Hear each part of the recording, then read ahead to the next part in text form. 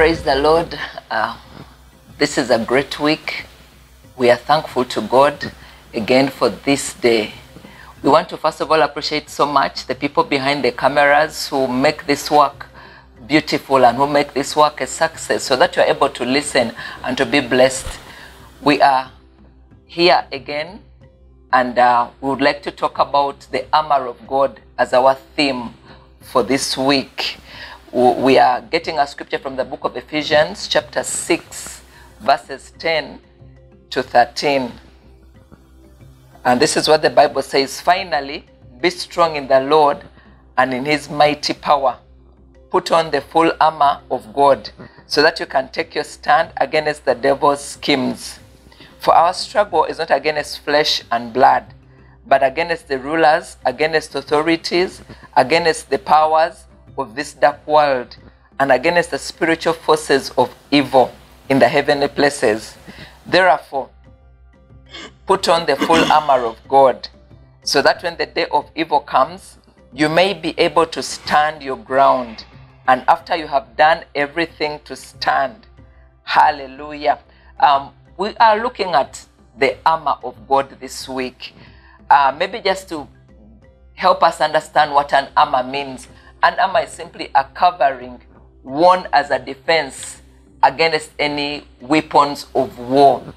Um, the armor of God reminds us that we are soldiers of Christ and we are in a battlefield.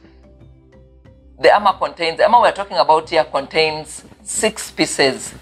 We have the breastplate of righteousness, we have the belt of truth, the helmet of salvation, the sword of the Spirit, the shoes of the gospel, and the shield of faith.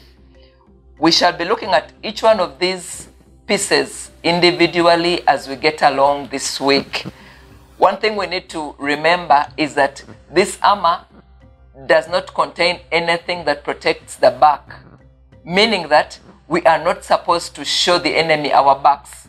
Um, that is no retreat, no surrender. So as we get forward, as we battle, we are not supposed to retreat, neither are we supposed to surrender.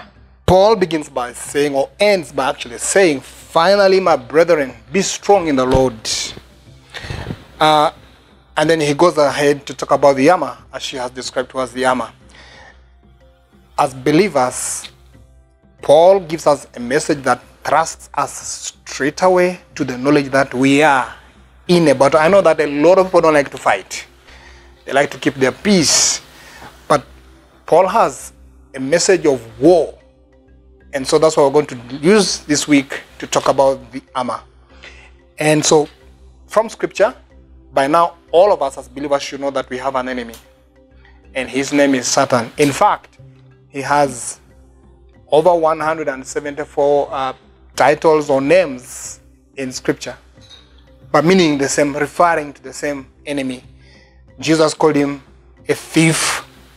In John 10 10, he says, He cannot come. The thief comes not except to steal, kill, and destroy.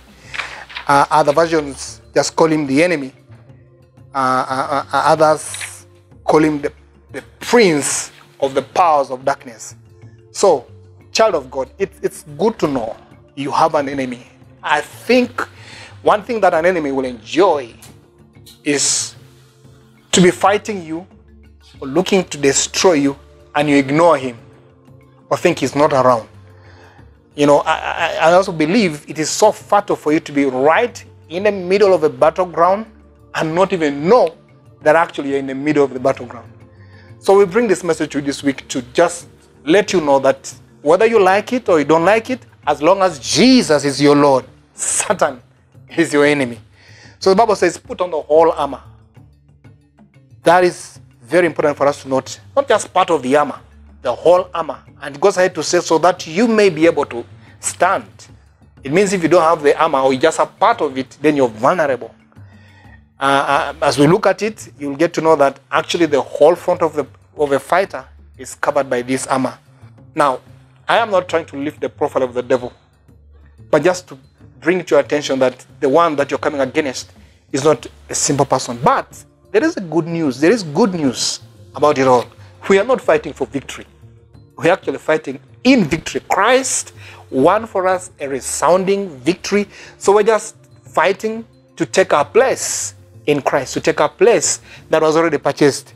We will be able to delve into all this as the days go by. May God bless you as you prepare. First of all, as you get to know you have an enemy, but also then as you prepare to know how to fight this vicious enemy. God bless you.